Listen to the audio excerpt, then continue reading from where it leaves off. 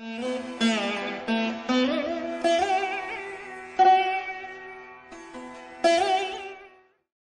சரணாகத தீனார்த்த பரித்ராண பராயணை சர்வசியார்த்திகரே தேவி நாராயணி நமஸ்துதே. வணக்கம் நேயர்களே இது மகாலட்சுமி ஜோதிடம் வழங்கும் காலச்சக்கரம். உங்கள் அன்பு ஜோதிடர் ஸ்ரீராம்ஜி பேசுகிறேன். அனைவரும் நலமுடன் இருக்கிறீர்களா? நன்றாகத்தான் இருப்பீர்கள் நன்றாக இருக்க வேண்டும். இன்றைய காணொளியில் நாம் காண இருப்பது இது ஒரு கண்டினியூட்டி வீடியோ லக்னாதிபதி ஆறு எட்டு பனிரெண்டில் மறைந்தால் பலகீனமா அப்படிங்கிற தொடரில் மேசம் முதல் கன்னி வரைக்கும் பார்த்துட்டோம். மீதி இருக்கக்கூடிய துலா முதல் மீனம் வரைக்குமான லக்னாதிபதிகள் இந்த ஆறு எட்டு பன்னிரெண்டில் மறையும் போது எந்த மாதிரியான வாய்ப்புகளை பெறுவார்கள்? அது முழுமையாகவே மறைவா? அல்லது யோகத்தை செய்ய கடமைப்பட்டவர்களாக இருப்பாங்களா அப்படிங்கிறத பார்க்கலாம். இதில் ஃபஸ்ட்டு துலா லக்னம். இந்த துலா லக்னத்துக்கான விசித்திரமான ஒரு அமைப்பு என்னன்னு பார்த்தீங்கன்னா லக்னாதிபதியான சுக்கரன் ஆறாம் இடத்துல தான் உச்சமே ஆவார். மீனத்தில். அப்போ இந்த உச்சம் பெற்ற நிலையில இவரை மறைவுன்னு எடுத்துக்க முடியாது. லக்னாதிபதி பலமான நிலையில் வேலை செய்கிறாருன்னு அர்த்தம். அங்கே ஆறாம் இடத்திற்கு உண்டான அனைத்து விதமான யோக பாக்கியதைகளையும் தருவார். ஆறாம் இடம் தரக்கூடிய யோகம் அப்படிங்கிறது என்ன அப்படின்னு நமக்கு தெரியும். ஒன்று நல்ல வேலை நல்ல கடன்கள் நல்ல உழைப்பு அதனால் கிடைக்கக்கூடிய ஆதாயம் முன்னேற்றம் நோயை கண்டுபிடிக்கும் தன்மை. நோயினால் ஒருவரை துன்பத்திலிருந்து விடுபட வைக்கும் யோகிதைகள் மற்றவர்களுடைய கஷ்டங்களை கவலைகளை துன்பங்களை தீர்த்து வைக்கும் அமைப்பில் நாம் வந்து முன்னேற்றத்தை சந்திக்கிறோம். உதாரணமாக நல்ல மருத்துவருடைய ஜாதகத்தில் பார்த்தீங்கன்னா பத்தாம் அதிபதி ஆறாம் அதிபதியோடு தொடர்பு வச்சுருப்பார்.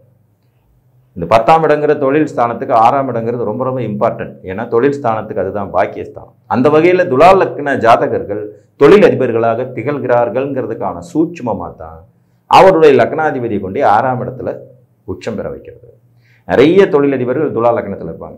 ஏன் இவங்களுக்கு லக்னாதிபதி ஆறாம் இடத்துல வந்து உச்சமாகிறாருன்னா இது தொழில் ஸ்தானத்திற்கு பாக்கியஸ்தான் அந்த தொழில் ஸ்தானத்திற்கு அது பாக்கியஸ்தானம். தொழில் ஸ்தானத்திற்கு பாக்கியஸ்தானத்தில் சுக்கரன் உச்சம் பெறுகிறாருங்கிறதுனால இந்த துலா லக்னக்காரர்கள் அதிகமான தொழில் மேதைகளாக தொழிலதிபர்களாக ஆயிரம் பேர் பத்தாயிரம் பேருக்கு சம்பளம் கொடுக்கக்கூடிய முதலாளிகளாக மாறுவார்கள்ங்கிறது தான் இங்கே உண்மையை ஒழிய இங்கே போய் லக்னாதிபதி மறைஞ்சிட்டாரு அப்படிங்கிற மாதிரி இல்லை.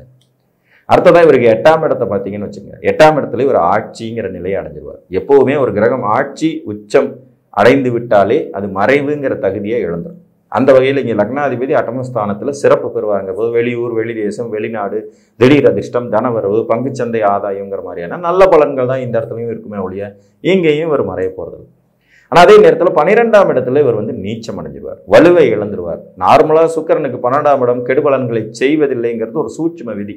அது என்னங்கிற காரணத்தையும் சொல்லிடுறேன்.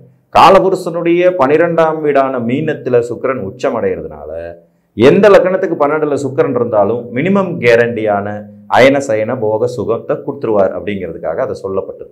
இப்போ துலா லக்னத்துக்கு பன்னிரெண்டாம் இடத்துல சுக்கிரன் இருக்கும்போதும் அந்த ஒரு மினிமம் கேரண்டி பலன் கிடைக்கும். இருந்தாலும் லக்னாதிபதி நீச்சம்ங்கிறது ஒரு தவறான ஒரு அமைப்பு தான் ஆக துலா லக்னத்திற்கு ஆறாம் இடத்துலையோ எட்டாம் இடத்துலையோ சுக்கரன் வலுவை இழப்பதில்லை. பனிரெண்டாம் இடத்துலையும் மினிமம் கேரண்டி அவர் பெறுவார். அவருக்கு ஏதானும் ஒரு வகையில் நீச்ச பங்கம் கிடைத்து விடுவது தான் சிறப்பு. அப்போ இந்த லக்னத்துக்கு சுக்கரன் லக்னாதிபதி கெட்டு போயிட்டாரு மறைஞ்சிட்டாருங்கிறதே எடுக்க முடியாது. இவர் எங்கே அதிகமாக பலகீனமாவார்னு கேட்டிங்கன்னா மூன்றாம் இடத்துல தான் பலகீனமாகும் புரியுதுங்களா? மூன்றாம் இடங்கிற தனுசில் போய் உட்காரும்போது சம உச்சங்கிற வலிமையை அவர் பெற்றாலும் கூட சுக்கரனுக்கு மூணு மட்டுமே வலிமையை குறைக்கும் இடமாகிறது. ஸோ அந்த வகையில் இவர் மூணில் இல்லாதிருந்தாலே துலா லக்னக்காரர்களுக்கு சிறப்பு தான். அதுக்கடுத்து பார்த்தீங்கன்னா விருச்சிக லக்னம். இவங்களுக்கு லக்னாதிபதி செவ்வாய் ஒரு பாவ கிரகம் இயற்கை பாவிங்கிற முறையில் இவர் மறையிறது ஏதாவது ஒரு வகையில் நன்மையை தருங்கிறது தான் நிதர்சனமான உண்மை. அந்த வகையில் இவருக்கு பார்த்தீங்கன்னா ஆறாம் இடத்துல அவர் ஆட்சி வலிமையை பெறுவார் மூணாம் இடத்துல உச்ச வலிமையை பெறுவார். ஸோ இந்த ரெண்டுமே அவருக்கு மறைவு இல்லை அப்படிங்கிறது மாதிரி ஆகிடும் லக்னாதிபதி ஆறாம் இடத்துல ஆட்சி வலிமை பெற போது இவருக்கு ஏற்கனவே வந்து நிறைய சுபிட்சமான அமைப்புகளெல்லாம் உண்டு. காலபுருஷனுடைய பூர்வ புண்ணிய ஸ்தானம் சுகஸ்தானம் எல்லாம் இவங்களுக்கு பாக்கியஸ்தானமாக வர்றதுனால அதிகமான சுகத்தை அனுபவிக்கிற யோகியதை கொண்டது தான் விருச்சிக இலக்கணம் ஆனால் அதே நேரத்தில் எதிரிகள் விரோதங்கள் வம்பு வழக்குகள் சங்கடங்கள் கோர்ட்டு கேஸு பஞ்சாயத்து எல்லாமே உருவாகிறது யாராலேனா இவங்களாலேயே தான் உருவாகும். ஏன்னா இவங்களுக்கு லக்னாதிபதி ஆறாம் இடத்துக்கு போகிறாருங்க இல்லைங்களா? அப்போ ஆறாம் இடத்துல இவர் வந்து வலுப்பெறதுங்கிறது இவர்களே இவர்களுக்கு வில்லங்கத்தை உருவாக்கி கொள்வதும் மூன்றாம் இடத்துல செவ்வாய் உச்சம் பெறுவது என்பது அதீத துணிச்சலால் துணிகரமான செயல்களில் ஈடுபடுறேங்கிற பேரில் தவறான செயல்களில் ஈடுபடுறதுங்கிறது தான் இவங்களுடைய மைனஸ் இதை இவங்க தான் கண்ட்ரோல் பண்ணிக்கணும் மற்றபடி எட்டாம் இடம்ங்கிற மிதினத்தில் இவர் மறைஞ்சிருவாருங்க. அது உண்மைதான். புதனுடைய வீட்டில் இவர் வந்து உட்காரும்போது பயங்கர டிஸ்டர்ப் ஆவார். அதில் லக்னத்துக்கு தொடர்பில்லாத ஒரு ஸ்தானமாகவும் போயிடும். அதனால் எட்டாம் இடத்துல செவ்வாய் மறையும் போது சற்று லக்னாதிபதியின் பலகீனங்கள் ஏற்படவே செய்யும். இங்கே ஏதாவது ஒரு இயற்கை சுபர் குருவின் பார்வை சுக்கரனுடைய இணைவு இந்த மாதிரி இருந்து தான் இவங்களை வழிநடத்த வேண்டியது இருக்கும். மூன்று மற்றும் ஆறில் விருச்சிக லக்னத்துக்கு செவ்வாய் மறைவதில்லை வலுவே பெறுகிறார். ஆனால் எட்டாம் இடத்துல சுத்தமாக மறைவார். புதனுடைய வீட்டில் அவர் உட்காரும்போது கடுமையாக டிஸ்டர்ப் ஆவார். ஜாதகருக்கு தன்னம்பிக்கை குறைபாடு ரகசிய நடவடிக்கைகள் தீய சிநேகிதங்கள் அதனால் ஏற்படக்கூடிய சிக்கல்கள் கோளாறுகள் போன்றவற்றை தருவதற்கு தயங்க மாட்டார்.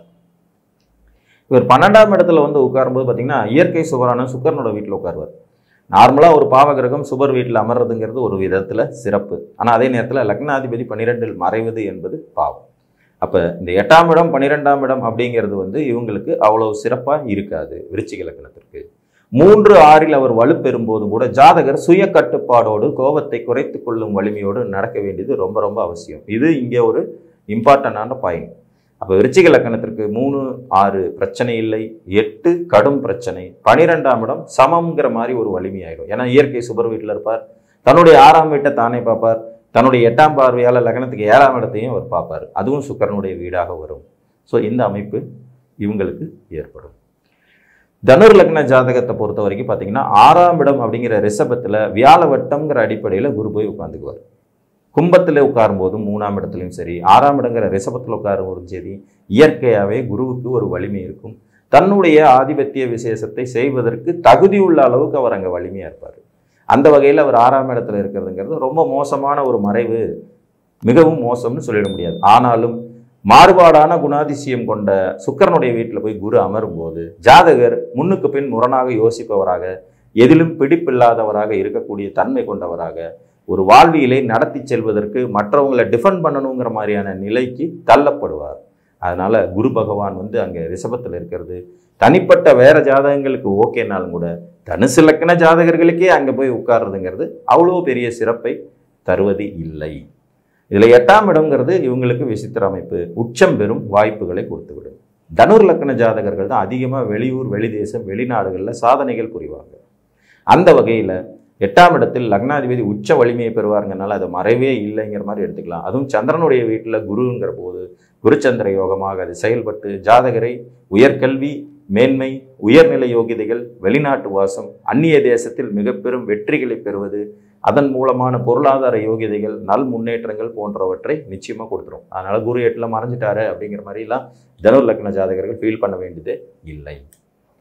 உங்களுடைய பன்னிரெண்டாம் இடங்கிறது விருச்சிகம்.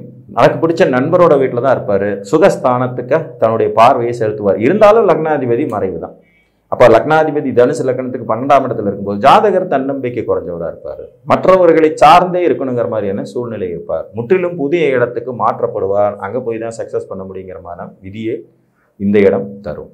இதில் இந்த வீட்டில் வந்து இருக்கக்கூடிய நட்சத்திரநாதர்களும் வந்து பார்த்தீங்கன்னா குருவுக்கு ரொம்ப உகந்தவர்களாக இருக்கிறதுக்கு வாய்ப்பு கம்மி. விசாக நட்சத்திரம் நாலாம் பாதத்தில் இருந்தால் மட்டும்தான் குரு வந்து வர்க்க இதில் நவாம்சத்தில் வலுவான இடத்துக்கு போவார். மற்றபடி அனுசத்தில் இருக்கிறதுங்கிறதும் கேட்டையில் இருக்கிறதுங்கிறதும் அவருக்கு ஒரு பெரிய யோகத்தையும் யோக பாக்கியதைகளையும் கொடுத்து விடாது அப்படிங்கிறது தான் நிதர்சனமான உண்மை. ஆனாலும் தன்னுடைய நண்பர் வீட்டில் இருக்காருங்கிற வகையில் ஓகேன்னு எடுக்கலாம். இன்னொன்று ஸ்திர லக்கணங்கள்னு சொல்லக்கூடிய கும்பம் ரிஷபம் சிம்மம் மற்றும் விருச்சிகத்தில் குருவுக்கு தனியான ஒரு புரிந்துணர்வு இருக்கும். அந்த வகையில் அவர் இங்கே இருக்கிறது. லக்னத்துக்கு ஒரு மினிமம் கேரண்டி அப்படிங்கிறது மாதிரி கொண்டுட்டு போயிடலாம்.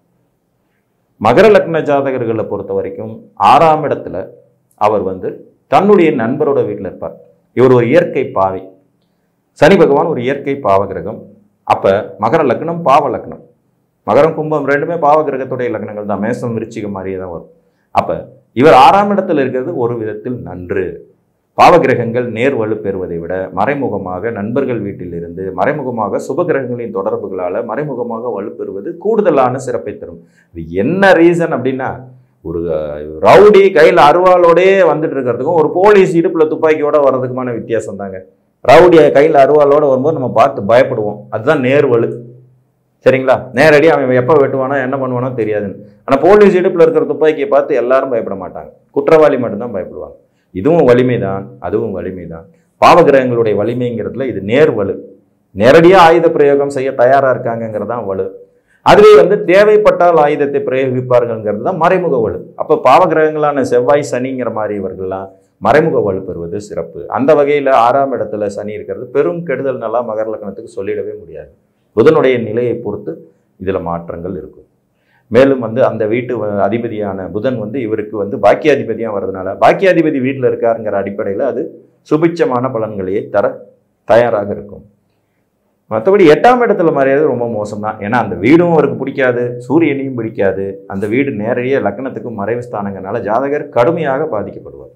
ஒரு மகர லக்னத்தில் பிறந்து சிம்மத்தில் சனி இருக்காருன்னா நிச்சயமாக சிரமங்களை சந்திக்கும் வாய்ப்புகள் தானே ஒழிய அது யோகம் அப்படின்னு எடுத்துக்கவே முடியாது. ஜாதகரே ஏற்கனவே தன்னம்பிக்கை குறைந்தவராக இருப்பார் முயற்சி குன்றியவராக இருப்பார் எப்போதும் மற்றவர்களில் பழி போடக்கூடிய அமைப்பாக இருப்பார் ரகசிய நடவடிக்கைகள் கொண்டவராக இருப்பார் பெருமளவு வெற்றியை பெற இயலாத சூழ்நிலையில் இருப்பார். இந்த இடத்துல இருக்கிற ஒரே ஆறுதலான விஷயம் அவர் பூர நட்சத்திரத்தில் உட்கார்ந்தாருன்னா ஏதோ பூர்வ புண்ணியாதிபதியோட நட்சத்திரத்தில் இருக்காருங்கிற வகையில் பரவாயில்லை அப்படிங்கிறது மாதிரியான ஒரு அமைப்பு இருக்கும். அஞ்சு பத்து கூடிய சுக்கர நட்சத்திரத்தில் உட்கார்றது ஓரளவுக்கு சிறப்பு. ஆயினும் லக்னாதிபதி மற்றவர்களை சார்ந்து தான் வாழ வேண்டியது இருக்குங்கிற மாதிரியான ஒரு சூட்சமத்தை பெற்றுத்தான் தீர்வார். பனிரெண்டாம் இடங்கிற குருவோட தனுசு வீட்டில் இருக்கிறது பெரிய மோசம் இல்லை அப்படின்னு சொல்லலாம். ஏன்னா பனிரெண்டாம் இடத்துல இவர் உட்காரும்போது வந்து பார்த்தீங்கன்னா இயற்கை சுபரோட வீட்டில் இருக்கார். இந்த இடத்துல ஒரு ஒரு மறைமுகமான வலுவை பெறுவார். நேச்சராகவே மகர லக்னத்தில் இருக்கக்கூடிய சோம்பேறித்தனம் அடமண்டு பிடிவாதம் மற்றவர்களை மதிக்காத தன்மை இதெல்லாம் மாறும்.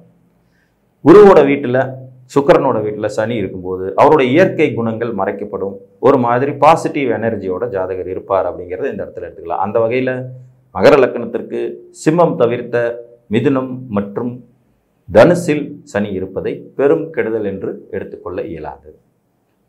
கும்பலக்ன ஜாதகம். கும்பலக்கணத்துக்கு இதே சனிதான் அதிபதி. இதில் வந்து பார்த்தீங்கன்னா அவர் ஆறாம் இடத்துல உட்காந்து ஒரு நிச்சயமாக டேமேஜ் கண்டிஷன் தான். எப்படி மகரத்திற்கு எட்டில் இருக்கும்போது டேமேஜோ அதே மாதிரி கும்பத்துக்கு ஆறில் இருக்கிறது டேமேஜ் கடக வீட்டில் அவர் உட்கார்ந்துருக்கும்போது கடுமையாக மன உளைச்சலுக்கு ஜாதகர் ஆளாவார் மனநோய் மாதிரியான சிக்கல்கள் ஏற்படும் வாய்ப்புகள் இங்கே அதிகமாக இருக்கும்.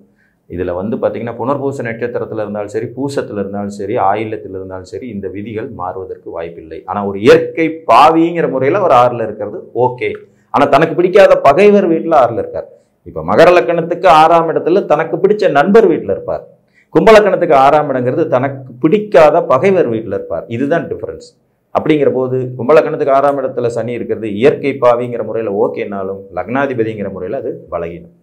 எட்டாம் இடத்துல இவர் கொஞ்சம் சேஃப் ஏன்னா இந்த வீடு இவருக்கு பிடித்த புதனுடைய வீடு. அதனால் இந்த வீட்டில் வந்து சனி இருக்கிறதுங்கிறது மிக மோசமான விளைவுகள்னு சொல்லிட முடியாது. அதே நேரத்தில் பூர்வீகத்தை விட்டு வெளியில் போகிறது முற்றிலும் புதிய இடத்துல போய் வசிக்க வேண்டிய சூழ்நிலையை சந்திக்கிறது செய்யாத குற்றத்திற்கு சின்ன வயசில் சில அவமானங்களையும் வருத்தங்களையும் இன்னல்களையும் தாண்டித்தான் வாழ்வியலில் ஜெயிக்க வேணுங்கிற விதியை கொடுக்கறதுங்கிற மாதிரியான அமைப்பு இருக்கத்தான் செய்யும்.